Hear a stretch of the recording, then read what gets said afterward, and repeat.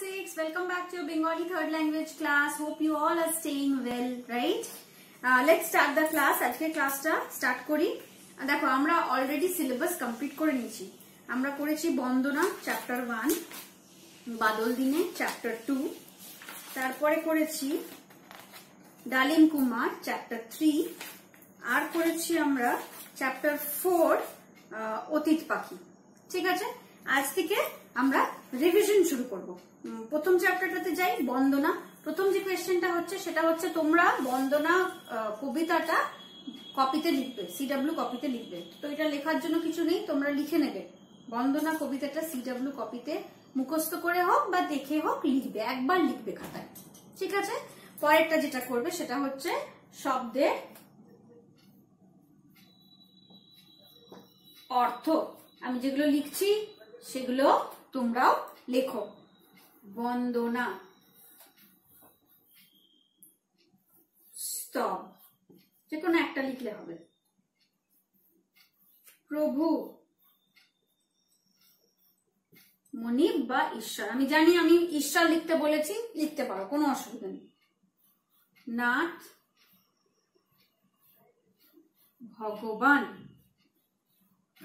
ঠিক আছে? তারপরে আমরা লিখব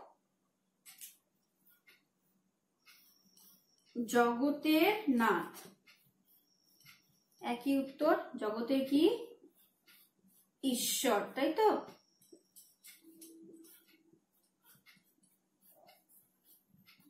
হয়ে গেল পরেরটা।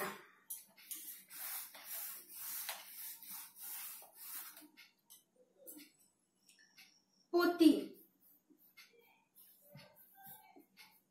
পালন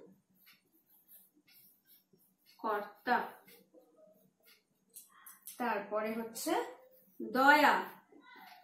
দয়া কি হবে? করুণা। লাস্ট বল। বল কি? শক্তি। ঠিক আছে? তাহলে এই শব্দগুলো কবিতাটা লেখার পরে তোমরা সিডাব্লিউ খাতায় লিখবে। হয়ে গেল? তারপরেরটা। এবার আমি কিছু শব্দ দেব, যেগুলো তোমরা কি করবে? বাক্য রচনা। তোমরা করবে, ঠিক আছে? বাক্য রচনা। কি কি শব্দ? বন্দনা, সখা, ঠিক আছে? শক্তি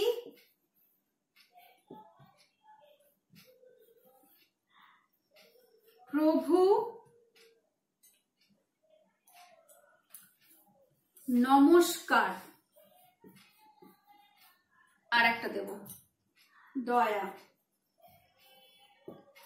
বন্দনা, সখা, শক্তি, প্রভু, নমস্কার, দয়া। এটা হচ্ছে কোয়েশ্চেন নাম্বার থ্রি ঠিক আছে? তাহলে কবিতাটা লিখবে, অর্থগুলো লিখবে, বাক্য রচনা করবে। হয়ে গেল?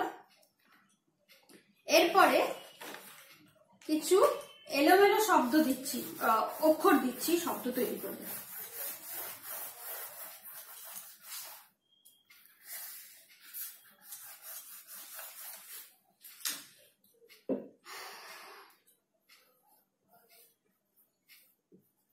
নিচে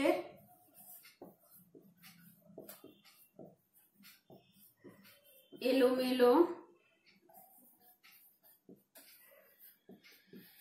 বর্ণগুলি সাজিয়ে সার্থক শব্দ লেখো। এবার কি লিখব আমরা? প্রথমটা, তা তা, পি, মা, হুম? তারপরেরটা, র, ন, দি চি। হুম? তারপরেরটা ব, দি সরি বি, ল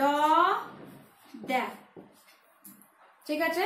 এরপরে কি হবে? এই ওপরেরটা মুছছি আমি। তোমরা পজ করে ভিডিওটাকে লিখবে। তারপর একটা লিখছি আমি। হুম? এক, দুই, তিনটে দিলাম। আরও দুটো দিই। আ গয়রেফ আকার, তারপরে দ, তারপরে তারপর ছয় দীর্ঘি হয়ে গেল, তিনটে, চারটে হলো আর একটা দেবো। র, গ তয়কার বর্গীর চ। ঠিক আছে? তাহলে এগুলোকে এলোমেলো করে দিয়েছি বর্ণগুলি। তোমরা তোমরা সাজিয়ে লিখে আমাকে ছবি তুলে পাঠিয়ে দেবে। এটাই আজকের কাজ। ঠিক আছে? Take care bye bye